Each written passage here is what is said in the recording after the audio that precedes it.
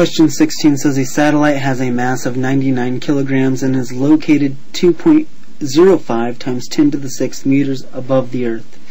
A. What is the potential energy associated with the satellite at this location? And B. What is the magnitude of the gravitational force of the satellite?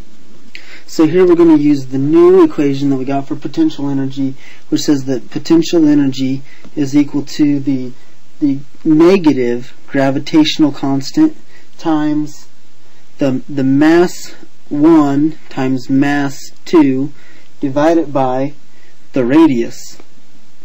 And so basically what we have here is is um, the so if you if you think of uh, force equals mass times acceleration, and if you were to to divide by um, or rather rather times it by the height, that gives you the the work. So the the force times the distance equals equals work.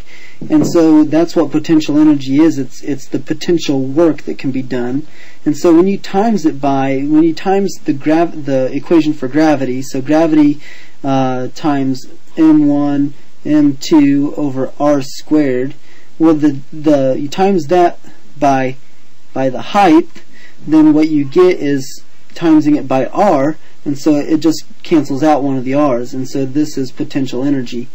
So you just plug in your, your numbers. So you have negative and the gravitational constant 6.673 times 10 to the negative 11th and you multiply that by the mass of the satellite so so 99 times the mass of the earth which is uh, 5.9 we're, we're going to say 5.97 times 10 to the 24th. So 5.97, and I'm just going to uh, leave out the 10, just write 24. That's 10 to the 24th.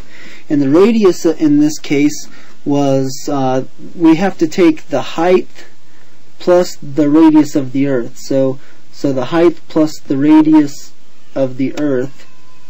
And the height that it gave us was uh, 2.05, 2.05 times 10 and so anyhow this has to be squared. Make sure you square that. So the height was 2.05 times 10 to the sixth meters so you got to add that to the radius of the earth which the radius of the earth is six uh, 600 and, um, I'm sorry it's 6,371,000 meters or about 6,371 kilometers. So you add that together so the sum of this is 800 uh, 8,421,000.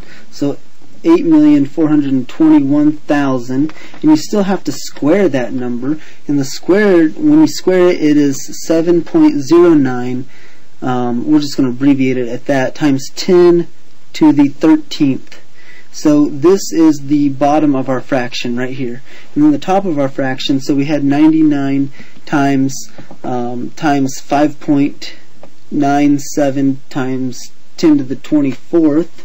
And so when you multiply all of that and you put it over over our, our 709 times 10 to the 13th, 7.09 times 10 to the 13th, the the answer you get is 8.33 we'll say 8.335 times 10 to the 12th and then you still have to multiply this by the gravitational constant which is uh, 6.673 times 10 to the negative 11th so you multiply that together and you should get a number of 556 is 556 newtons and so this is the gravitational force acting well that's actually we answered B first um, to, B was uh, the force and A was the, the potential energy. And so I actually switched in the middle there. So the potential energy, negative G, times, times M1,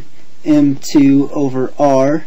And uh, what we just did was negative G times M1, M2 over R squared. So all we have to do now is divide by, I'm sorry, not divide, but rather multiply by the radius. So so because um, we did this one, if we multiplied that by the radius, it would actually cancel out one of the r's and it would just leave r. So to find the potential energy, all we have to do is, is multiply our, our force of 556, 556 times the radius that we had, which we said was we said the radius was eight million four hundred and twenty-one thousand meters.